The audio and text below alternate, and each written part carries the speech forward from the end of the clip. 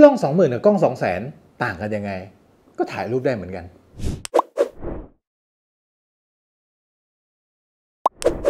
แม้ว่าต้นคลิปเนี่ยจะเปิดมาด้วยว่ากล้อง 20,000 กับกล้อง200,000 มันต่างกันยังไงนะครับ ถ่ายรูปได้เหมือนกัน เพียงแต่ว่าตัวเลขที่เราเห็นเนี่ยมันก็เป็นการแทนของกล้องที่ราคาถูกหน่อยราคาเริ่มต้นกับกล้องที่เป็นระดับราคาที่เป็น professional อ่าก็คือราคาถูกกับราคาแพงเนี่ยมันต่างกันยังไงนั่นแหละนะครับคือด้วย sense ง่ายๆเนี่ยทุกคนก็คงจะคิดได้ง่าย ๆ นะครับว่ากล้อง 200,000นะมันแพงกว่ามันต้องมีอะไรดีกว่าแหละนะเพียงแต่ว่ามันหลาย ๆ ครั้งเนี่ยมันก็จะมักจะมีคำถามว่าทำไมกล้องแม่งถึงแพงวะซื้อกล้องแพงๆไปทำไมเนี่ยมันถ่ายรูปได้เหมือนกันอะไรเงี้ยนะครับแต่ก่อนที่เราจะไปดูนะครับว่ามันแตกต่างกันยังไงนะยังไงก็ฝาก ซูมอบลาแฟร์ครั้งที่ 13 นี้ด้วยนะครับผม จัดที่เกตเวย์เอกมัยเหมือนเดิมนะครับ รวมถึงมีโปรโมชั่นเยอะแยะมากมายนะครับ วันเวลานะครับก็จะเป็นวันที่ 27 ตุลาคมถึง 1 พฤศจิกายนนะครับ ก็เข้าไปเลือกหากันได้นะเดินทางสบายครับ ถ้าอย่างนี้รถติดก็เอารถไฟฟ้าก็ได้นะครับ เดินเข้าห้างได้เลยมีทางเชื่อมอะไรประมาณนี้นะครับก็แล้วแต่สะดวกแล้วกัน ซึ่งในงานเนี่ยก็จะมีในส่วนของกูรูรวมไปถึง ทีมงานของซูมาล่านะครับ ทีมงานคอนเทนต์น้องท็อปนะเบิร์ดผมเองนะครับก็อยู่ในงานก็เข้าไปสอบถามพูดคุยกันได้นะครับผม โอเค แล้วไปเจอกันที่งานครับผม อย่างแรกเลยที่จะเห็นชัดเจนเลยนะครับในกล้องที่ราคาถูกหน่อยกับกล้องที่ราคาแพงหน่อยนะครับก็คือในเรื่องของการจับถือปุ่มควบคุมต่างๆเนี่ยมันจะต่างกันโดยสิ้นเชิงนะครับ กล้อง ที่ราคาถูกหน่อยเนี่ยนะครับกล้องราคา 20,000อะผมผมแทนกล้องที่ราคาถูกหน่อยเป็นกล้องราคา 20,000 กับ 200,000 ไปเลยอะประมาณนี้นะครับให้เข้าใจตรงกันว่า 20,000 คือถูก200,000คือแพง ในกล้องราคา 20,000เนี่ยนะครับคุณก็อาจจะเห็นว่ามันจะมีปุ่มอะไรไม่ได้เยอะมากนะครับก็ถ้าคุณอยากจะเข้าไปปรับอะไรเนี่ยนะครับก็ต้องเข้าไป ลึกหน่อยเข้าเมนูกด FN หรืออะไรก็แล้วแต่นะครับ รวมไปถึงการจับถือเนี่ยด้วยความที่กล้อง 20,000เนี่ยมันถูกออกแบบมาสำหรับมือใหม่ แน่นอนว่าหลาย ๆ คนต้องการสิ่งที่เบาพกพาง่าย คือเขาก็อยากให้ได้พกพาออกไปได้ใช้งานอะไรประมาณนี้นะครับในขณะเดียวกันในเรื่องของขนาดนะครับสำหรับกล้องเกรดแพงนะเกรดโปรอะไรก็ว่ากันไปนะครับเขาไม่ได้มีปัญหาในเรื่องการแบกถือเท่ากับกล้อง อาจจะมีปัญหายิ่งใหญ่กว่า มันก็อาจจะหนักกว่าแน่นอน แต่ว่าเขาไม่ได้มีปัญหากับกล้ององที่มีขนาดใหญ่ขนาดนั้นกล้องที่เล็กกว่ามันก็ดีกว่าแหละเพียงแต่ว่าคนเหล่านี้ใช้กล้องเพื่อเอาไปถ่ายอะไรบางอย่างอยู่แล้ว เพราะฉะนั้นเนี่ยมันต้องแบกอะเออมันต้องยกอะมันต้องแบกไปนะครับทีนี้มาถึงในเรื่องของปุ่มควบคุมต่างๆนะครับอย่างที่บอกไปตอนแรกนะครับว่ากล้องเล็กเนี่ยนะครับคุณต้องเข้าไปหลายหลายเมนู อาจจะเข้า FN อาจจะเข้าเมนูเพื่อไปปรับอะไรบางอย่าง แต่ในขณะที่กล้องที่เป็นกล้องเกรดแพงนะกล้องเกรดโปรทั้งหลายแหล่นะครับหลาย ๆ อย่างมันจะถูกเอามาไว้ที่ข้างนอกเลย ผมยกตัวอย่างเช่น ปุ่มปรับโหมดกล้องใหญ่มีเลย กล้องเล็กหลาย ๆ ตัว ต้องไปหมุนข้างในต้องไปปรับข้างใน อย่างเช่น Drive Mode หรือว่าการถ่ายต่อเนื่องนะครับกล้องใหญ่มีมาไว้ข้างนอก หมุนปรับได้เลย อยากจะเป็น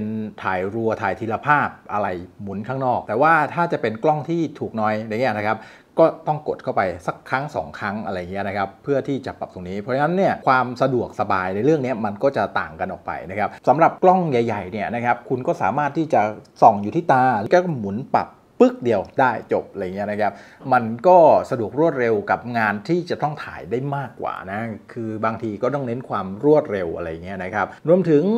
ปุ่มอะไร custom อะไรทั้งหลายแหล่เอาออกมาวางไว้ให้เยอะแยะเต็มไปหมดนะครับสำหรับกล้องใหญ่ๆ เพราะฉะนั้นเนี่ยเวลาที่เขาจะเรียกฟังก์ชันบางอย่างที่ใช้งานออกมาเนี่ย มันก็สามารถที่จะมา custom หรือว่าวางอยู่ข้างนอกเลย มันก็สะดวกกว่ารวดเร็วกว่านะครับแต่ก็แลกมากับ body ที่ใหญ่กว่าเช่นเดียวกันครับอย่างที่2นะครับก็จะเป็นในเรื่องของพอร์ตต่างๆ ที่ให้มาเนี่ยมันจะมีให้มาเยอะกว่า ก็คือมันก็จะให้มาครบกว่าไม่ว่าจะเป็นช่อง HDMI ก็อาจจะเป็น full size ไปเลยเพราะทำกล้องใหญ่ได้นี่ใช่ไหมต่อเนื่องมาจากข้อที่แล้วก็ทำมากล้องใหญ่ได้ใช่ไหมก็ใส่ full size มารวมไปถึงช่องหูฟังนะครับซึ่งกล้องราคาถูกเนี่ยจะไม่ได้มีในส่วนของหูฟังมาให้ แต่ไม่นับ ZV-10 นะ ZV-10 ใส่มาให้เฉยเลยในกล้องในราคา 20,000นะครับ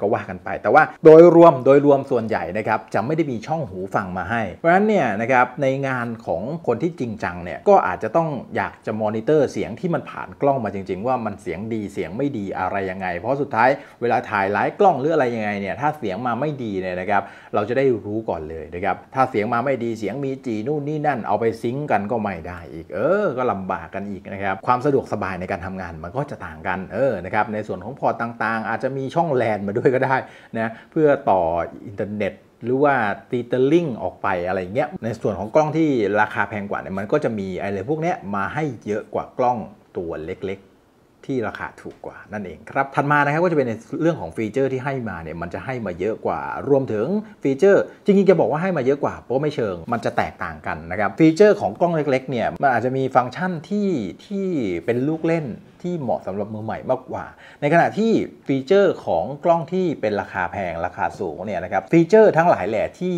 ทำงานจริงจังเนี่ยมันจะมีมาให้เยอะกว่า เออนะครับหลาย ๆ อย่างเนี่ยมันจะมีมาให้เยอะกว่า รวมไปถึงแก้ไขข้อผิดพลาดบางอย่าง ยกตัวอย่าง เช่น แก้ breathing แก้ขอบม่วง แก้อะไรเงี้ยมันอาจจะมีมาเยอะกว่าในกล้องที่ราคาถูกกว่านั่นเองนะครับในส่วนของฟีเจอร์ที่เกี่ยวกับการทำงานเนี่ยมันจะมีมาให้เยอะกว่า custom ได้เยอะกว่าด้วย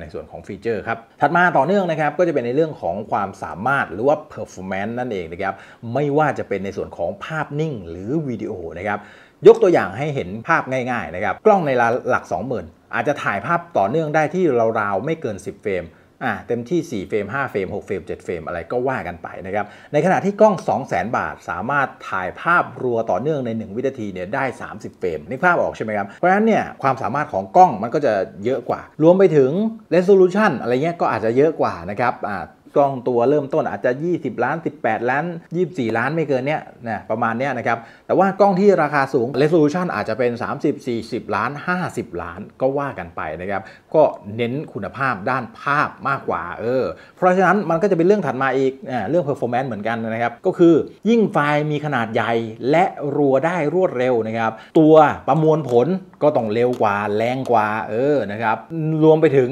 เรื่องการจัดการความร้อนนู่นนี่นั่นก็ต้องทำให้ได้ดีกว่า มันก็จะไป ทุกอย่างอะมันก็จะรวมไปถึงการออกแบบนู่โอ้โหเยอะแยะมากมายนะครับนี่แค่ภาพนิ่งนะยังไม่ถึงวิดีโอนะวิดีโอก็อีกอะกล้องตัวเล็กอาจจะถ่ายได้แค่ในระดับนี้อ่า 4K เริ่มต้นนะแต่ว่ากล้องในระดับราคาแสนสองแสนเนี่ยคุณจะสามารถถ่าย 4K ได้ 120 เฟรม ถ่าย 8K ได้นู่นนี่นั่นเห็นไหมความแตกต่างมันแตกต่างกันเยอะขอบเขตของสิ่งที่ทำได้มันต่างกัน เยอะแยะมากมายนะครับที่ขอบเขตของกล้องพวกนี้มันจะทำได้สูงกว่านะวิดีโอเนี่ยก็รวมไปถึงในเรื่องของของความเร็วของโปรเซสเซอร์อีกนะก็เห็นไหมครับว่ามันมันมันมันจะมีความเกี่ยวเนื่องกันอยู่ในเรื่องของความเร็ว performance ของกล้องนะครับรวดเร็วโฟกัสเร็วกว่า เออแน่นอนการคำนวณของโฟกัสแม่นยำกว่ามารวดเร็วกว่า นี่คือเรื่องของ performance ของกล้องทั้งหมดเลยนะครับข้อถัดมานะครับก็คือมันจะเกี่ยวเนื่องมาจากเรื่องข้อก่อนหน้านั้นนะครับในเรื่องของ performance แล้วก็การควบคุมต่างๆอะไรเงี้ยนะครับมันจะทำให้เราเพิ่มขอบเขตในการถ่ายงานได้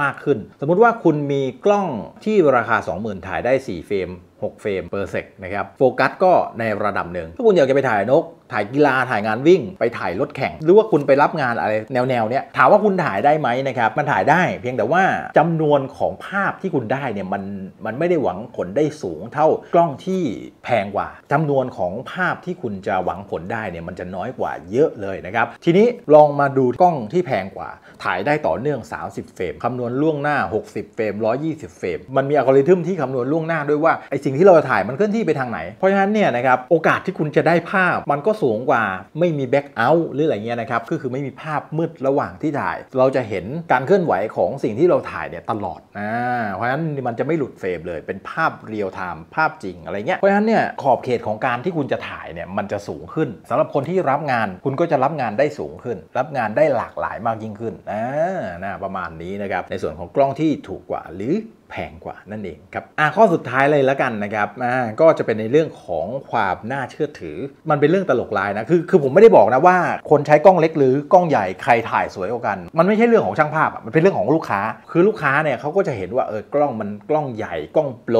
ก็แน่นอนว่ามันเป็นภาพว่าเออนี่เอาเราเอาโปรมาถ่ายเลยนะเออผมยกตัวอย่างให้เห็นภาพแบบชัด ๆ กว่านี้ก็ได้ คุณใช้กล้องซีนีมาอะเป็นวงการซีนีมาเลย เลทราคาในการรับงานก็ต่างกัน คุณใช้อารี่ถ่ายอีกเลทราคาหนึ่งนะ คุณใช้กล้องมิเรเลตไม่ได้บอกว่ามิเรเลตถ่ายแล้วไม่ดีนะ อาจจะได้งานที่ออกมาดีเหมือนกันตรงใจเหมือนกันเพียง แต่ว่าrate ราคามันก็จะต่างกันลงไป ความน่าเชื่อถือคนละเรื่องเลยนะ mirrorless ผมว่าถ้างานทั่วๆไปความน่าเชื่อถือมันมากกว่ากล้องเล็กอยู่แล้วกล้อง mirrorless full frame ก็ดูน่าเชื่อถือกว่ากล้องเล็ก หรือว่ากล้อง cinema อะไรเงี้ยโอ้โหก็ดูน่าเชื่อถือเข้าไปอีกเออดูแบบโอ้โหโคตร professional เลยทั้งๆที่คนถ่ายโปรหรือเปล่าไม่รู้เออแต่ว่ากล้องพวกโปรโปรเนี่ยคือคนคนใช้งานมันก็ต้องศึกษาอยู่แล้วนะครับไม่งั้นก็ใช้งานไม่ได้นะอันนี้ก็อันนี้ยกตัวอย่างให้เห็นภาพเฉยๆว่าประมาณนี้นึกภาพออกใช่ไหมครับคือในแง่ของเราอะเราที่เป็นช่างภาพอะเราก็มองว่าเออเรารับงานแค่นี้ซื้อกล้องประมาณนี้ก็ได้เออมันก็อีกส่วนหนึ่งแต่ว่าอย่างที่บอกไปมันก็เป็นเรื่องของคนที่มองเข้ามาว่า เฮ้ยเราโปรรุ่นนี้นั่นเออมันก็เป็นอีกเรื่องหนึ่งนะครับ แต่ว่าก็ปฏิเสธไม่ได้ บอกตรงๆเลยว่าปฏิเสธไม่ได้ว่ากล้องก็เป็นเหมือนเครื่องประดับของช่างภาพ กล้องและอุปกรณ์ ก็เป็นเหมือนเครื่องประดับของช่างภาพที่บ่งบอกว่างานมันจริงจังแค่ไหนอ่าก็ก็ประมาณนี้แล้วกันในส่วนของเรื่องของความน่าเชื่อถือนะครับ โอเค ก็ประมาณนี้นะครับในส่วนของกล้องถูกกับกล้องแพง สิ่งที่คุณจะได้ไปนะครับว่าคุณจ่ายแพงไปเพื่ออะไรนะครับมันมีหลายเหตุผลเลยนะครับทำไมต้องจ่ายแพงๆขึ้นอยู่กับความจริงจังนั่นแหละอะจริงจังมากไม่ได้ถ่ายรับงานก็ซื้อ ซื้อได้นะครับอ่าหรือว่าถ้าถ่ายเพลินๆสนุกสนาน ก็ซื้อกล้องที่ในระดับที่เราคิดว่าถ่ายสิ่งที่เราอยากถ่ายได้แล้วก็โอเค ก็ไม่มีปัญหาอะไร แต่ว่าเนี่ยคือความแตกต่างระหว่างกล้องถูกกับกล้องแพงสำหรับใครที่มีความคิดเห็นเกี่ยวกับกล้องถูกกล้องแพงนะครับว่ามันต่างกันอะไรยังไงบ้างนะครับนอกเหนือจากนี้ก็สามารถที่จะคอมเมนต์มาพูดคุยได้นะครับผม โอเคสำหรับคลิปนี้ต้องขออนุญาตลาไปก่อนครับ เจอกันในงานนะ เอออย่าลืมไปเจอกันนะครับสำหรับวันนี้ลาไปก่อนครับ สวัสดีครับ